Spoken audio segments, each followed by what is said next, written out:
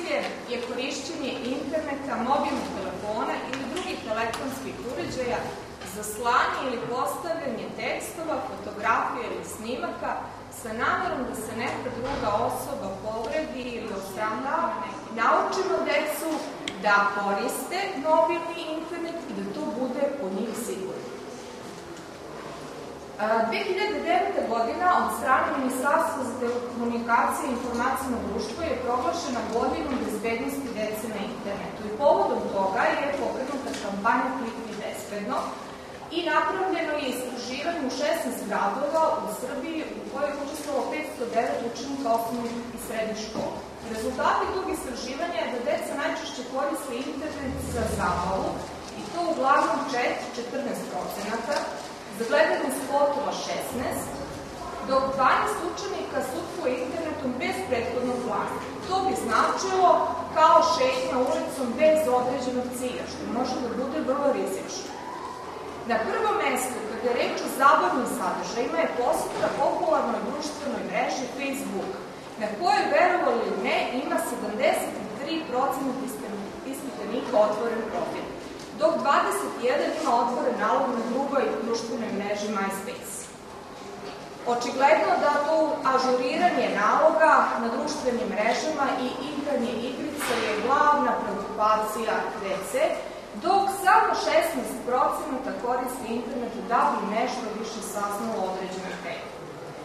Veoma zabrinjavajuća činjenica je da veliki broj ispitanih, njih 31% otprilike, znači jedna trećina, je izjavilo da njihovi roditelji ne znaju što oni rade na internetu.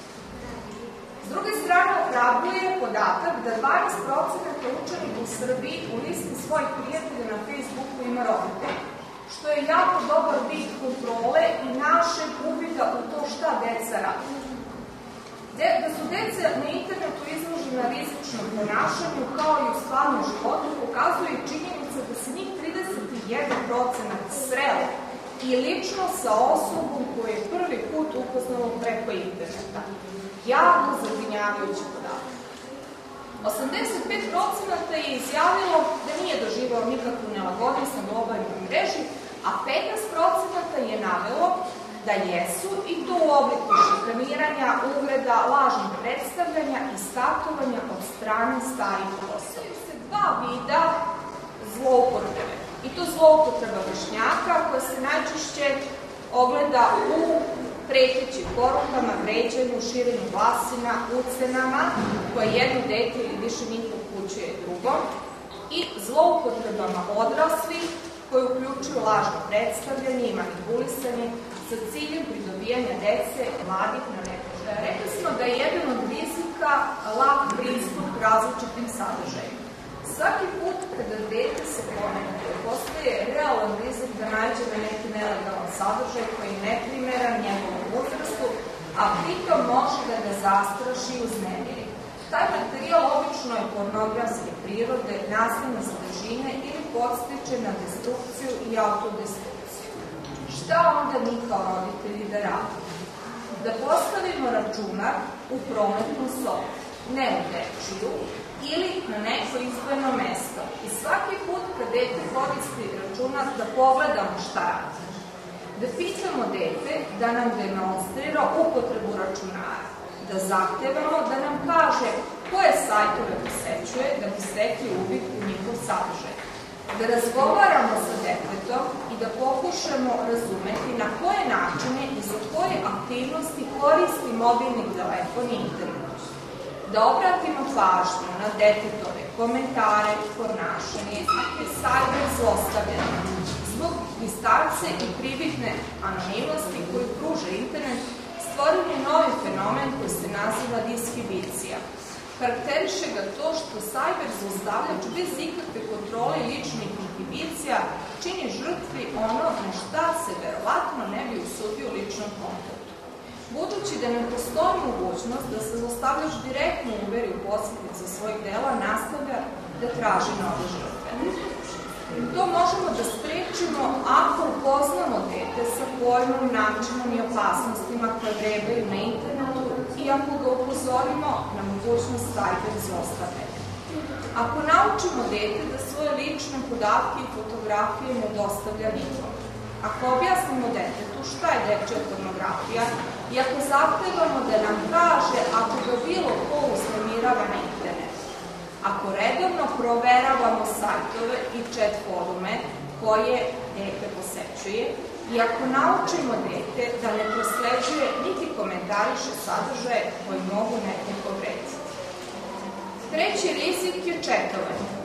Dete ne bi smelo da četuje sa nepoznatim osobama prvenstveno zbog opasnosti od pedofilije.